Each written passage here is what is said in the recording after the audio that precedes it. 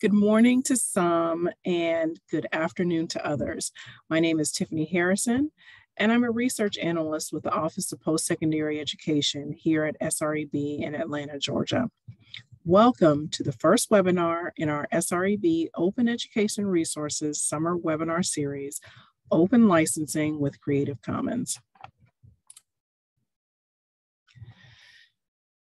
Before we begin, I'd like to remind our listeners that in addition to today's webinar, next month we'll be hosting Jeff Gallant with Affordable Learning Georgia, and later this summer we will have Daniel Williamson with OpenStax.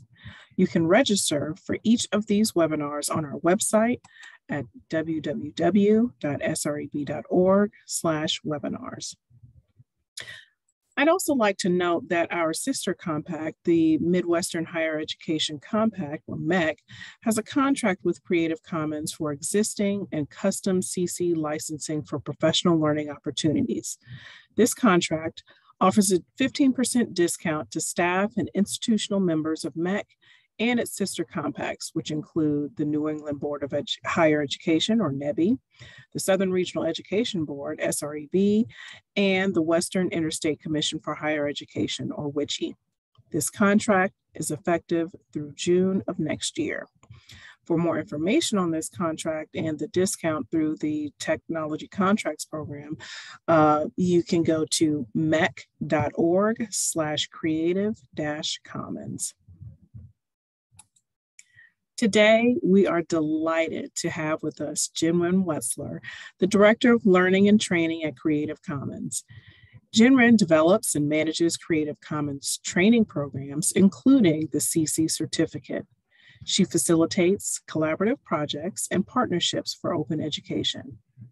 Prior to Creative Commons, Jennryn, Jennryn worked on open policy and open educational resources at the U.S. Department of State piloting OER use for public diplomacy and global partnerships. She's also enjoyed gaining a different perspective of education through international development work in Thailand and Niger. Jennryn has a master's in ethics, peace, and global affairs from American University School for International Service, and she lives in Maryland with her husband and children. Jennryn enjoys yoga, podcasts, and feeding her more daring friends her cooking experiments. Jennryn, I'm going to turn it over to you. Thank you so much. And it's an honor to be here. I'm really glad to, to be kicking off this summer webinar series. So thank you for having me. Um, I'm actually going to screen share. Um, I think if you don't mind stopping, yeah, then I will, let's see, start. Okay. Can everyone see this? Okay, great. Well, thank you for the introduction. Um, today, what I want to do is actually spend as, as much time as possible answering any questions or taking, um, taking some feedback and really saving room for discussion at the end of this. So please do think of questions that you might have for me. And if there's anything that I can't respond to, I'll be happy to, to share your questions with our CC lawyers after this presentation. Okay, and so from the, just from the start, I was very excited to be engaging here because I saw a few different folks from the attendee list from uh, states like Texas and Maryland and um, West Virginia and so on. And these are states that have particularly great uh, advancements in open licensing for education. So I wanted to just very quickly share um, one of our sister organizations, OER state policy tracking information. You can see a great map here in case that's of interest. Um, but there are so many more wonderful initiatives that I know all um, all of the Southern Compact states are, are working on, and I think it's it's very very exciting. Um, so to get started, for those of you who are not familiar with Creative Commons, we are a global nonprofit organization that works towards equitable sharing of knowledge and culture in the public interest. We built and steward the open licenses that power people's unfettered access to education, information, culture, research, etc. And we are now in our 20th year. So we are celebrating our 20 year anniversary. And we know that to date, there are over 2 billion CC licensed works across 9 million websites. Um, So Creative Commons offers trainings that help people understand um, the ethos of our global shared commons, um, how to work with open licenses, and then we also engage in different advocacy efforts around the world to support equitable open sharing practices. So today, what I wanted to do was give you a very brief snapshot of how you can use our legal tools um, to support your work and maybe the institutions that you represent um, better access and share and build on, on educational resources. And at the end of this webinar, I'll be happy to give you a little bit more information on our, um, our contract with MHEC so that you can either register for a training yourself with a discount or share the, um, the information with your colleagues. Okay, before diving into our tools and how you can use them, I wanted to take a quick step back and tell you a story about why it's important and why CC licenses have a bigger impact than we might initially think um, when, when we're first dealing with them. So in 2019, Creative Commons interviewed Meduza, the largest remaining independent news site in Russia. Meduza's investigative reporter, Ivan Golunov, had been arrested on June 6 in 2019 in the center of Moscow. He was persecuted because of his work, likely by the very people he conducted anti-corruption investigations into. And Meduza's immediately they realized that the best possible response to the attack was to put Golunov's work into the spotlight as much as possible. So within a couple of days, the news organization licensed more than 100 of his articles under a Creative Commons attribution license. Hundreds of Russian media outlets republished Golunov's pieces, including national newspapers, lifestyle magazines like Glamour and Men's Health Russia and GQ, feminist websites, and various regional press outlets. According to Meduza, this may have been the first time in the history of Russian media that one journalist's articles were published at the same time in every outlet.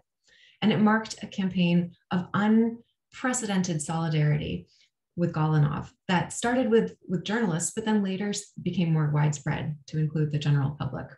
And the result was the system gave in. Ivan Golunov was released on June 11th, 2019. Today, we see Meduza using CC licenses again this time to combat censorship and disinformation about the war in Ukraine from the Russian government. All of their content around the war in Ukraine is openly licensed, making it as shareable and accessible to other news organizations and readers around the world as possible. So, just for a moment, imagine if we could not access verified information on Ukraine or COVID or any scientific research or academic progress. And then imagine if even more educational research health research, or so on, was shared legally and freely rather than locked behind paywalls and shared in a way that researchers could be paid and given credit for their advancements? What if every textbook that students bought was more affordable or free? While it's not a silver bullet, using our legal open licenses can support more effective and accessible teaching and learning. It can help researchers more effectively innovate, to better address our major challenges, such as climate change and pandemics and so on. So this is what we're passionate about at CC.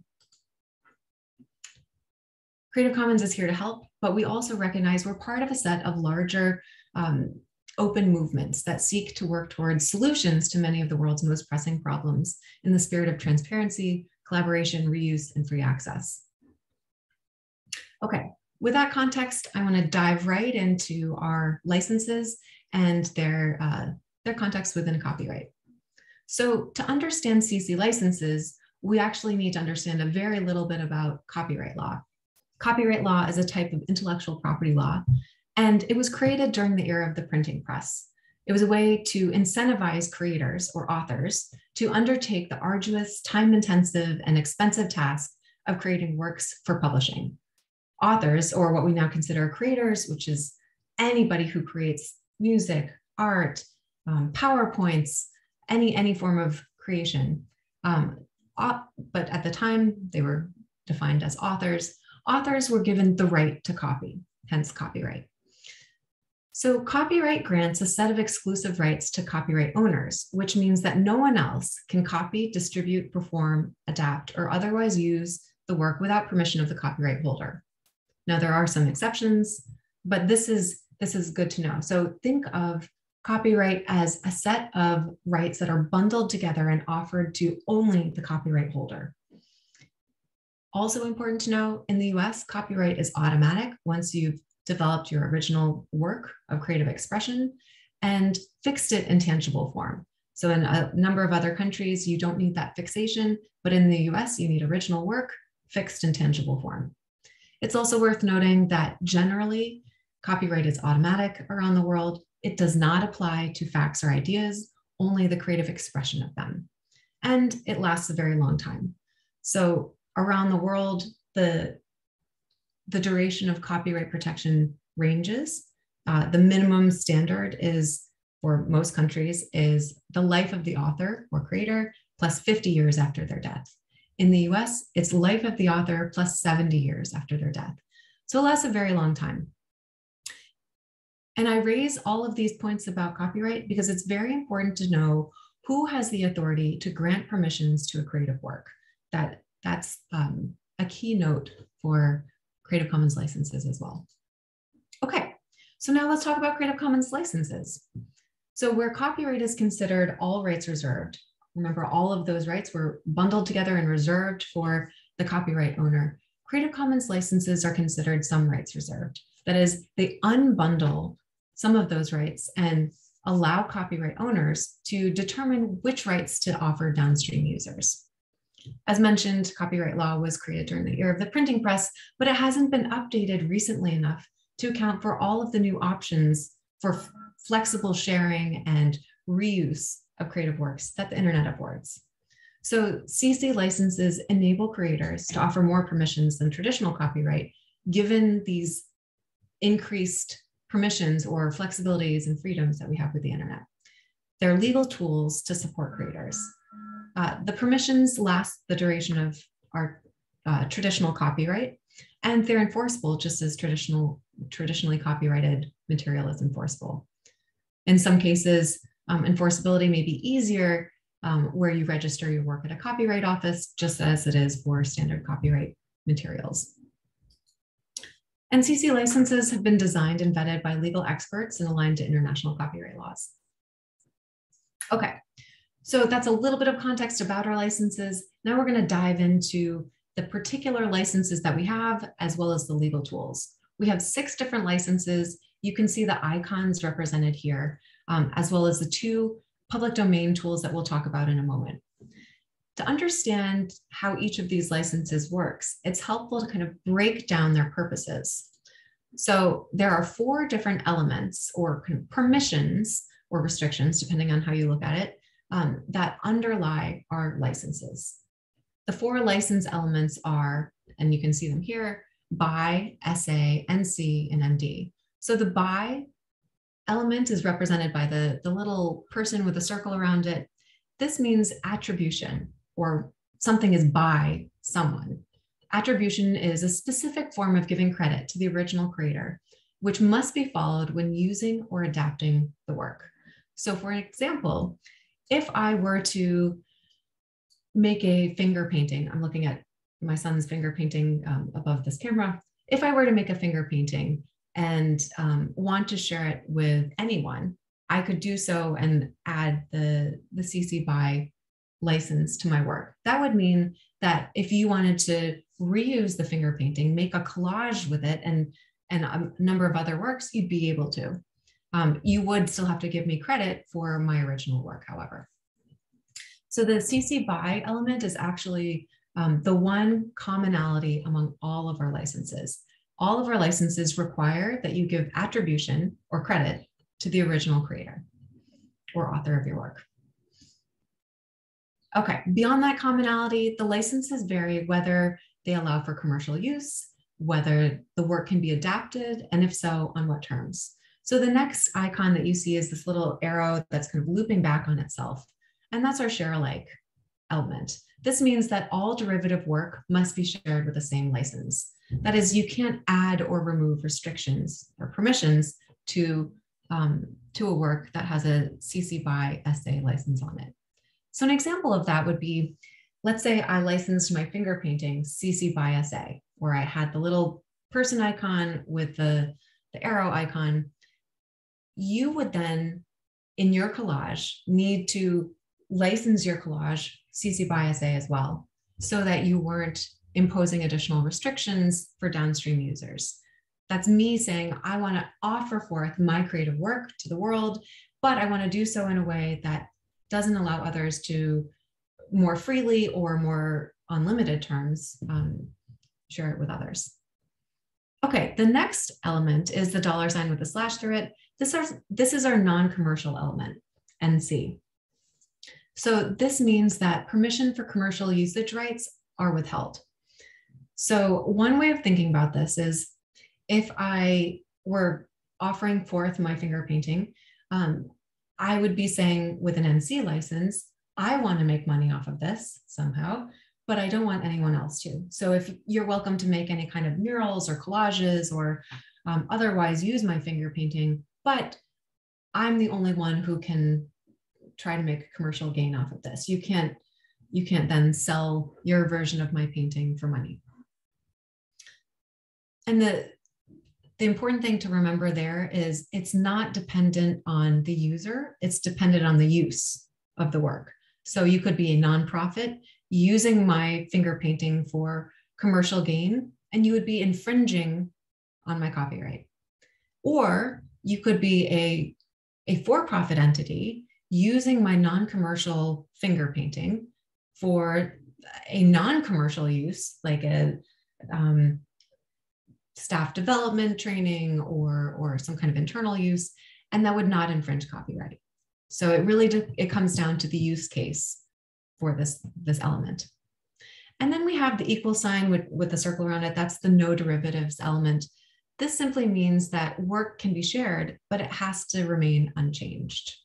So you'd be welcome to use my finger painting for any kind of um, gallery, exhibit, opening, or whatever you wanted to, um, but you would not be able to make adaptations to that. I'd need you to preserve the, the original painting as it was. Okay, as mentioned, all of the licenses that you'll see in a moment include the CC BY condition. Uh, this is a, um, a requirement also of copyright law. Whenever you use a, um, a piece of creative work, you need to give attribution to the copy to the author. And now let's turn to the public domain dedications as well as a little bit more context. Okay, so here you see um, a green chart. At the very top of the chart are the two public domain dedications. So there's the C with a slash through it, that's the public domain mark. Then you have CC0, which is um, not a license, but a legal tool. This helps you waive all of your rights to copyright in a work, effectively dedicating your work to the public domain. So a lot of institutions and creators use this to um, offer forward their work in the most flexible way possible. They're not requiring any attribution. They are simply putting forth their work into that kind of vast pool of our human knowledge and creativity that um, helps people kind of iterate and innovate on and kind of use with um, the, the greatest flexibility. So an example of this is um, scientific data. A lot of people, a lot of institutions put scientific data into the public domain so that others can um, make the most use of the scientific data um, for new scientific break breakthroughs. SpaceX, for example, released all of their images of space into the public domain using CC0. Um, similarly, NASA, a government agency, um, released all of their, their work into essentially the public domain as well. All right. So the, the public domain mark is a little bit different. This is more of a, a label used to mark works known to be free of copyright restrictions globally. So it's a little bit harder to determine what is free of copyright restrictions worldwide, given the difference in durations of copyright protection in different countries. But it's helpful to know when you see this public domain mark, it's likely meaning that you can use you can use the work at hand um, for any purpose without giving credit to the original author. Um, it would just likely mean you, you need to double check that. Just make sure that it is in fact in the public domain. That would be a recommendation.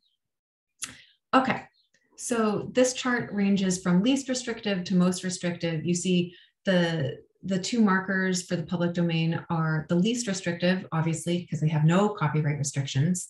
They exist outside the realm of copyright law, all the way down through our licenses, going from our CC BY license to our CC BY SA license to the, the licenses that have some um, restrictions on use, our CC BY NC, CC BY NCSA, to our um, ND licenses down at the bottom.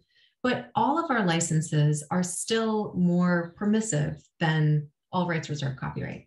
Again, they all work within the realm of, um, of copyright law, but they are more flexible than traditional copyright.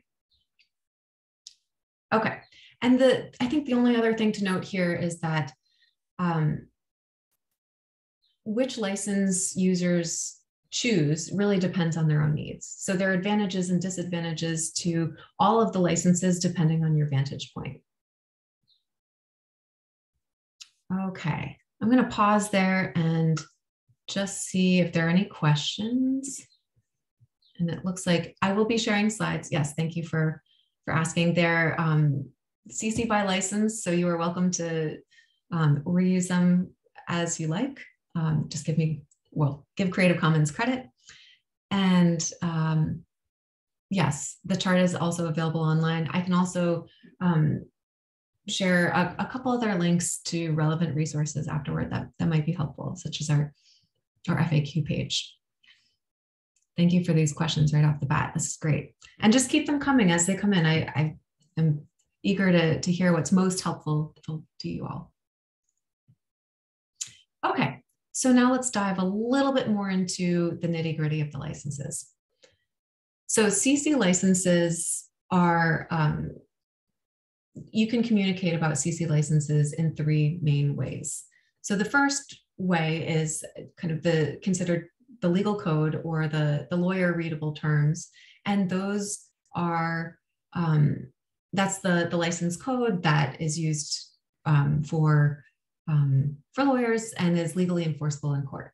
So I'm happy to, to give an example of that. That's kind of the legalese that's hard for non-lawyers to read at times. So that we also provide the common deeds. So this is kind of the human readable version of the license that um, that is not enforceable in itself, but that links to the, the legally, legally enforceable layer. And you can, you can also see an example of that. I'll just post um, an example of the human readable um, layer right here. And here, post the lawyer readable version there. The third is our machine readable layer. So this is the, the layer that, um, that makes the license discoverable by software online. So the machine readable version summarizes the key freedoms granted and or obligations imposed in a format that is searchable by search engines and um, other web applications. And this is what makes our tools really relevant in this digital age.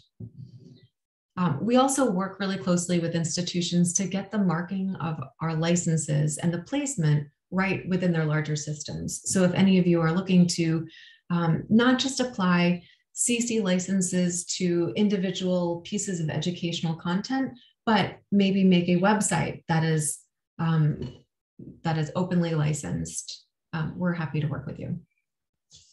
Okay, we're going to take a quick look at our CC license chooser, which, which is the way that we recommend right now um, for most people who don't maybe have time for like our full training to openly license their own works. So we have a license chooser that basically asks you some very simple questions and it helps you determine what would best suit your needs for open licensing. So I think for the interest of time, I'm not going to have us go through um, a little practical exercise on this, but I will show the chooser. Let me just, here it is right here. Okay, so this is what the the traditional chooser looks like. You see the box in the left side of, um, of the web page. And in that box, you're asked two questions. You have to ask yourself, do I want adaptations of my work to be shared? And you can say yes, no, or maybe, but as long as other people share it with the same terms. And that will reflect the license that you, you then choose. After you answer that question, you have to you have to determine if you want commercial uses of your work to be allowed. So that is, do you want others to have the chance to profit from a version of your work or not? You can say yes, you can say no, and that will reflect the, the license that's best um, used for your needs. So the license here, based on the questions I responded to just randomly, was our CC BY NCSA license. the way to use it is to scroll down to this bottom section and literally copy and paste the code on your, your web page or copy and paste the language and the icon right here and put it on your educational material. Excuse me. So that's the easiest way to do things. In our certificate training, we give you a little bit more guidance on how to how to set up a, a, licensing statement that would really help downstream users take most advantage of your materials, know your name, know the title of the, the work you're putting forward, and so on. Um, there's also a chooser beta that is, um, it's not out of beta yet. It hopefully will be at some point. Um, but this is a version of the license chooser that can help you think through a lot of the other questions behind um, determining the license that you might want to choose or use on your work. So this is a little bit more in depth in terms of the questions you have to answer, but also gives you a little bit more of a detailed um, synopsis of what's going on. So again, I would love to spend a little bit more time on this, but I do want to save time for Q&A. So I will leave this here. I'm going to share this link um, also after the um, the webinar ends and I'll put it here in the chat. Okay. Um, so now let's talk about not just what we can do to apply a license to our own work and determine what works for, for our own creation, but how we best work with others' open licensed materials. So this might seem like a simple question. How do we reuse others' open licensed works, right? And this actually depends on um, whether you are using someone else's work in unadapted form or whether you're making an adaptation. So let's say, and I'll just for the sake of this presentation, I'll show you my, my son's finger painting. I've never actually shown this anyone this, but I love it. Let's say I want to offer forward this finger painting. Others can reuse it depending on my license if it's in this form or if it's cut up into a million different pieces and turned into some kind of mosaic by someone else. But it depends um, on how they use it and what license um, what license I have on it already. Um, those two things will determine um, the license that they apply.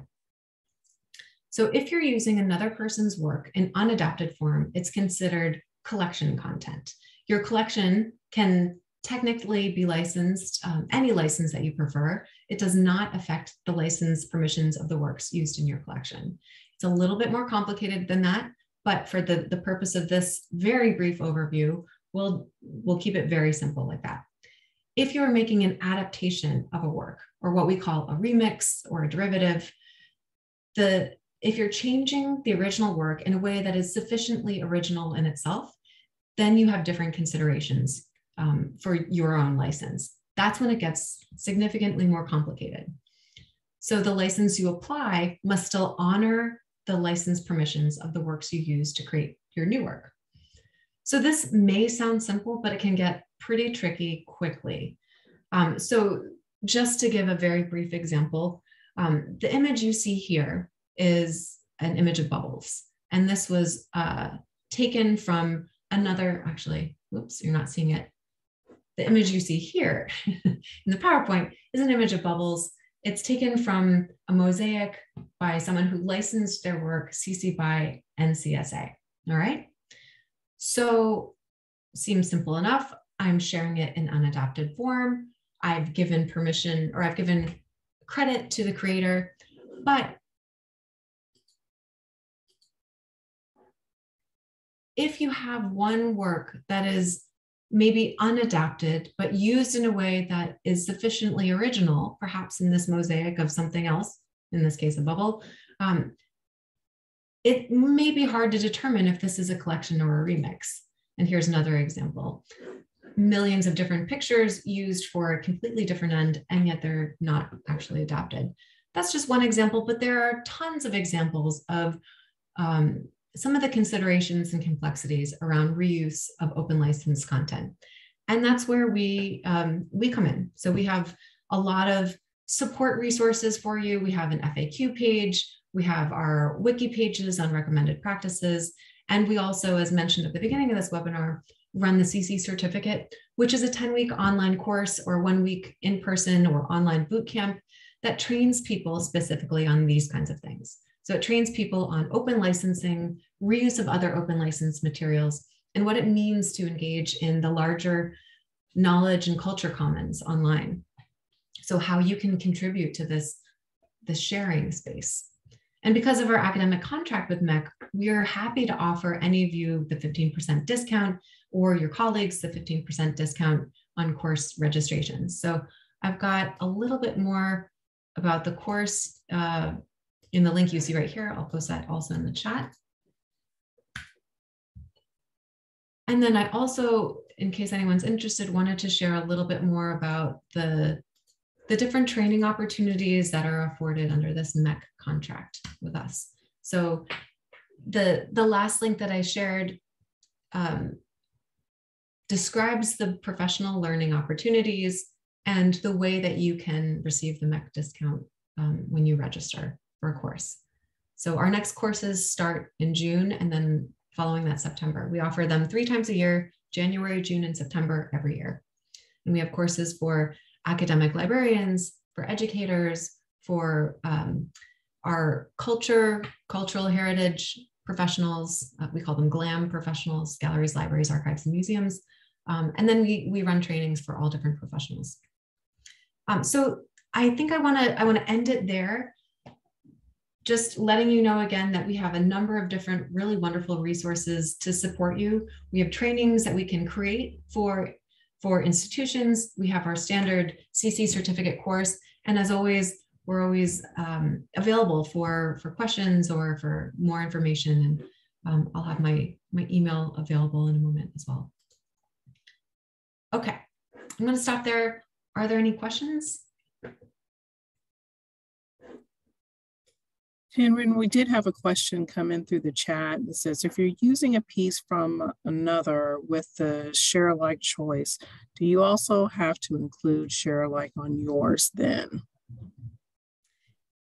Yes. um, if you, I will say that with a big caveat, however, if you are using your, um, if you are using a share alike work in a remix or adaptation, so a work of your own that's sufficiently original, then you would need to offer it forward with a share alike um, element on it as well. Yes, you can't add restrictions or permissions onto your work because that um, that would infringe on the original permissions or restrictions of the um, the original licensed material that you were using.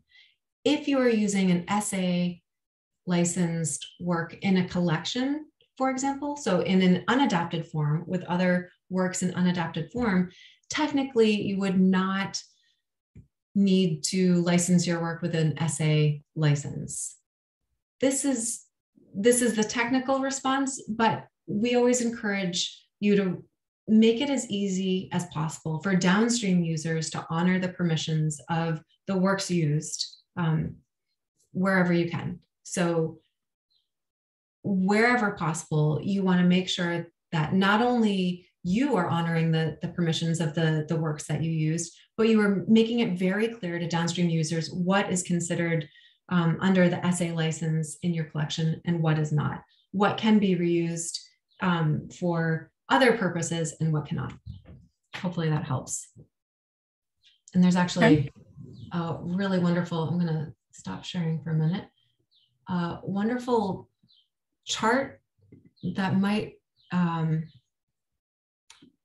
yeah, that might help in our frequently asked questions page. I don't know if this probably doesn't come up to the right um, chart, but if if you just do a, a find for chart, you can scroll down and, and take a look at a couple of our different charts that really um, detail what's permitted and what's not, depending on your uses. Okay, we have another question um, in our question and answer um, page that says for employees such as university faculty, where the employer might have an interest in intellectual property their employees create, how should the employee proceed in terms of licensing work they want to share broadly? Workplace legal counsel may not always be well versed in uh, Creative Commons and the Open Ed movement. So, how, what's the best way for them to to move forward with that? That's such a great question. So, this is something that comes up in our courses too. And it's interesting. In the US in particular, we have this work for hire doctrine. This means and let me first say i'm not a lawyer this is not legal advice but our our general takeaways are always read your contracts with your employer understand what you are legally obligated to do in your contract there um, ideally is a you know some section of the contract that outlines who has the copyright to the the works that you create under your employment. If it does not it yeah it, it is likely worth a conversation with your your lawyers to determine what's possible. And yes i mean lawyers are are often um, like there to do the due diligence. They they want to mitigate risks. So they would not want to likely incur risks for something that they're not used to. But the what we found is the more people who get accustomed to cc licenses not just in the us but globally the more um, willing people are to to try using them in different cases and and experiment and so on. So if it's helpful we can connect you to other folks who have been in communication with their their lawyers about you know the work for hire doctrine what specifically they're allowed to to create under their contracts and otherwise we also have a really wonderful um, database of case law um, around cc licenses so um, this I think would be a, a good resource for um, for anyone worried about incurring risk because um, CC licenses hold up in law. There are plenty of examples um, to draw from, and I think a really wonderful set of community members in our our global network that would be available to help anyone who's interested in you know sharing recommended practices and so on beyond that. Hopefully awesome. that answers. Okay, well, we'll leave that open to the chat and hopefully that did answer the question. Um, another question we have um, kind of following up from uh, the share alike is how intentional does sharing alike have to be? You know, how broadly does um, must a derivative be distributed for it to count as share alike? Let's see. So I probably can't uh, determine that. I wish I could. I and I I'm happy to put you in touch with um, one of our um, our legal counsel. Um, yeah, someone from our legal counsel. But I mean, as far as I know, people are expected to do whatever is considered reasonable in abiding by the CC licenses, whether they are initial users or users far downstream of a given work. It's kind of it's on them to abide by the law, right? And that's true of um, copyright licensed works or all rights reserved copyright. That's true of CC licensed work. Um, so I think I'm not a lawyer. I can't I can't give any kind of legal advice on this, but I would imagine it would be up to the individual user um, how their use is um, how much their use is reasonably abiding by the license terms. Okay, all right, thank you. Hopefully that's not uh, a cop out. our next question um, from looks like Daniel Wilson. You mentioned for profits being able to use non commercial works for nonprofit purposes, but the concern that I've had often seen is that since the school is for profit, then using the materials in the classroom is potentially a for profit use as the school is profiting off of it. Is that completely off base or is it a valid concern? What what say you? No, I think that's a really good question. I mean, it gets um, it gets to be really challenging when you have um, sort of mixed uses or you have a an institution um, that yeah, that may have, I, I guess, mixed uses. So I would say, um, I think there is some flexibility where where institutions use educational resources that um, have the non-commercial clause in a way that recoups costs versus makes um, commercial gain. So if there was a way to to basically defend the use case and say that this is used for non-commercial purposes in this non-commercial space, then that would make sense, I think. Um, but yeah, it can be murky. I know there are a, a number of cases where um, even for-profit um, for-profit campus bookstores sell NC licensed um, books, but I think they have to do so in a way that they don't make commercial gain. So they have to kind of recoup costs of operations, but nothing more. Um, yeah, let me see. I'm just going to reread this question in the chat so I make sure I'm answering it.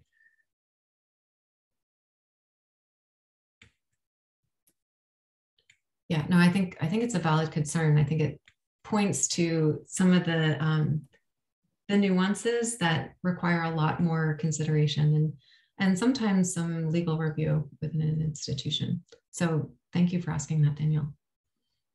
Okay. We had another question that, well, more so of a statement, but hopefully you can speak to it a, a bit. Um, says, I'm confused about using things like blogs that cite other works.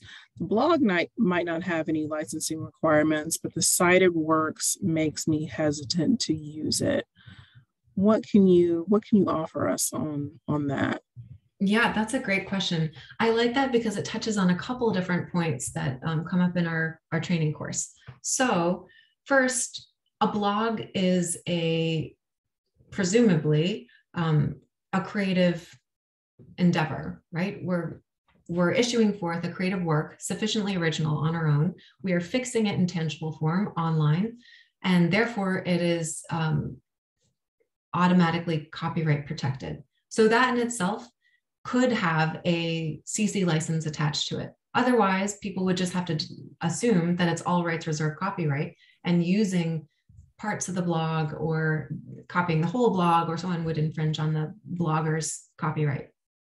Um, second, there is a, a sometimes confusing at first difference between works cited and attribution. So when we talk about um, when we talk about copyright, we're talking about attribution.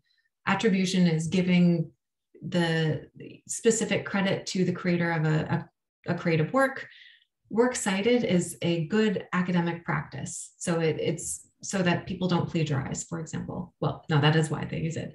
Um, and it, it supports, you know, downstream users or readers finding additional information on on a given topic. Um, one is one is breaking law um, if you don't if you don't abide by it, and the other is you know breaking good academic practice.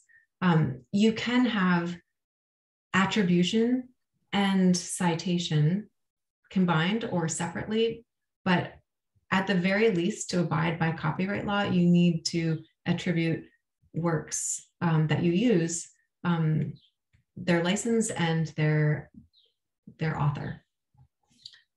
Um, so it, it may seem intimidated to use the work cited from a um, a blog or I guess yeah engage with blog content like that but just keep in mind um, yeah that they are they're slightly the works cited is slightly different from um, attribution and I can get you a great link to that following this if you'd like just contact me. Okay. Uh, we had another question in our question and answer area that says, how does Wikipedia or Wikimedia Commons uh, and contributing for photographers not get into legal trouble for CC licensed photos without model or property releases, but allowing commercial use? Um, and, and on Wikipedia and Wikimedia Commons and downloadable use for anyone else, where the photos contain recognizable people or property that have additional rights not addressed by CC? Great question. Okay, let me address that in reverse order. The the logos or people identified in photos.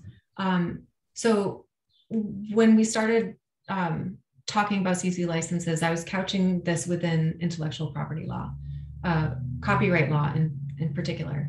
Copyright law is just one form of IP law.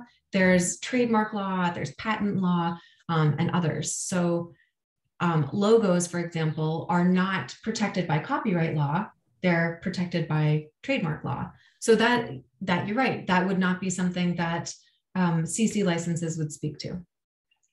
Um, in terms of how Wikimedia Commons deals with with photos and so on, they they're an incredible resource that makes sure the author upload or the, the creator uploading the, the content um, agrees that this content is CC by SA licensed.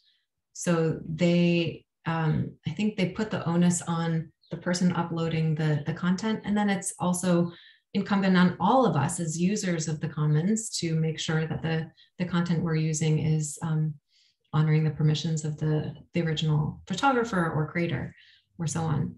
Um, yeah, I'm trying to think if there was any I'm I don't see that question, so I'm trying to think if there's anything else uh, to that question that I might not be touching on. Was that did that answer? Okay. I think so. Um, so we've got about three or four more questions. And I'm just kind of going in the order between the chat and the question and answer area. Um, we have uh, a question that says more of a curiosity than anything else, but I've had faculty ask this. How much do they have to share? Just with their own students, more broadly? How, how does, how's that? That's, oh, that's a really fun question.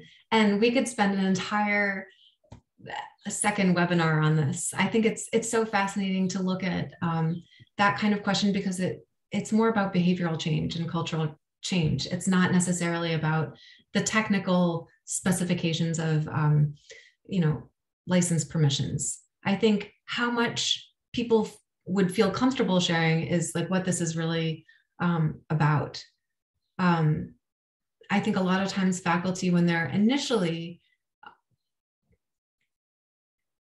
discovering this new or different approach to education, which is sharing based, may be nervous at first to to try it. I mean, a lot of times people, um, and rightly so, I think, um, are used to a paradigm where their uh, you know their currency is their um, intellectual creations, and at the same time, CC licensed works do not challenge people's um, people's currency in that way. They offer a greater chance for um, for citation counts in academic publications. The more people have access to um, an academic publication, the more likely they are to to cite it or to reuse it in some way and give attribution in a, a following publication. So I think um, how much faculty share is one up to their personal preference um, and willingness to test out a different paradigm of education. And two subject to the um, to their contract with their employer. So what they're allowed to share may be dependent on what their employer determines. I, when I first started working at Creative Commons, I was coming from the government where um, there is kind of a default to close hold on information unless it, uh, unless um, unless a particular bit of information is you know meant for public consumption and, and so on. Um, and i would say it was it was a bit of a leap for me to go from um, an assumption that we we don't share to this assumption that not only do we share everything, all of our all of our um, certificate course content is openly licensed and available online for anyone at any time, um, but we encourage people to to use the works. We love seeing our work being remixed and repurposed for different uh, opportunities and so on. Um, that's a little bit of a tangent, but I do want to share an example of how um, powerful it was for me um, to see the result of open sharing after coming from a closed sharing institution beforehand. So here, I'm going to post a link to our certificate program webpage where you can access all of our licensed materials, all of our open licensed content. If you scroll down, you will see that not only did someone decide to make an audio version of our work that made it far more accessible to so many um, additional audiences, but we had um, at the very bottom, we decided to make a, an attribution template so that people would be able to adapt it even further. Since then, we've found people are translating it into different languages. We have the cert in six different languages, including English, with two additional language translations coming this year. We have different programs that have taken bits and pieces of our, our training and adapted it in, in different ways and then cited back to um, the CC certificate, giving us an even broader audience than we initially expected. So I see the ripple effect of open sharing as something so powerful and so far beyond what I, I, initially expected. I would say, from my own personal perspective, the more faculty are feel comfortable sharing, the better. But I recognize every case is different, and you know, I don't have to deal with tenure and promotion policies, for example. So hopefully that helps. Yeah, fantastic. All right, we're we're coming down to the wire. We've got two questions uh, left. Let's see. Um, so, does all of this mean that we're able to print for our students? Would charging only the cost of printing be okay under these rules? That's a good question. So, this is also something that gets into um, some of the the nuances that that are brought up in the course. In the U.S., you have um, you have something, it's a an exception to copyright called fair use, which allows for some limited reuse of copyrighted content um, for educational purposes, among others, given certain um, factors. So there's a four factor test that you have to kind of abide by. Anyway, this is all to say, even for, for all rights reserved copyright content, you may be able to um, you know, I should I should back up and say I'm not a lawyer. I cannot respond to this um, in full, but I know there um, there have been um, there have been legal cases to support people using CC um, licensed content, recouping um, print costs, and um, yeah, printing out content for for participants for students. Excellent. Let me just make sure I'm, yeah. I'll share the, um, the case law on that if it's of interest. Great, that would be wonderful. All right, our last question is if multiple OER sources are remixed together, to what extent do we need to make it clear where one source ends and another begins, especially if things are blended and more than, you know, just simply cut and pasted? Oh, this is this is a great question. This is in itself a reason to take the course. Not to keep promoting the course, but this is something that um, ends up being very, very complicated. And um, the thing that I will leave you with here is the most important thing to do in your um, remixes is, or your collections, or some, regardless of how you reuse the work, is making sure to ideally give credit to the author. So you, you recognize the author, you provide the title to the original work, the license of the original work, and the source so that downstream users are able to go back to the original source and double check that they can then um, you know abide by the the original permissions offered and recognize the author and and so on. So if you if you can step back and try to not get hung up on where